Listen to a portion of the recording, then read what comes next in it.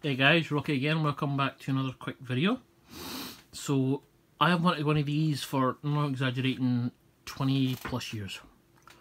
This is an official Commodore A570 CD-ROM drive add-on for the Amiga 500 and 500 plus range.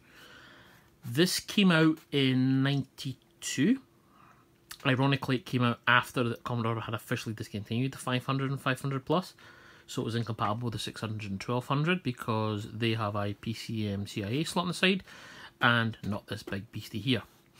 So what this does, when plugged into 500, 500 Plus, gives it CD-ROM.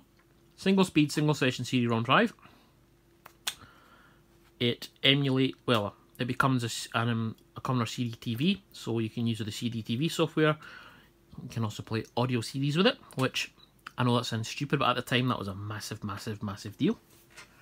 So, plugs inside here like this to the 500. You pull off the expansion cover and shove it in. On the back, got power. Takes a standard 500 power brick, so it came with one of them. So you basically have to have two big power bricks.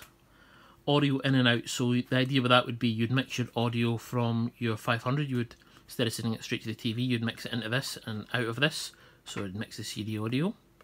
Expansion cover, I believe the CD TV expansions are compatible.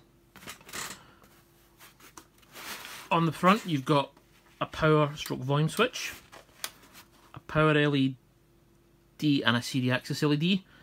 The larger audio jack.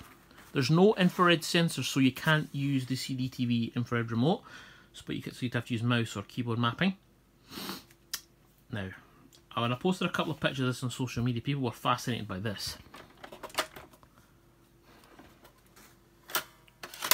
What this is. People had no idea. So I must be really old. So I had to go hunting for a CD Here's a blank CD. Of course, modern CD drives or DVD, you put that in there. No, no, no.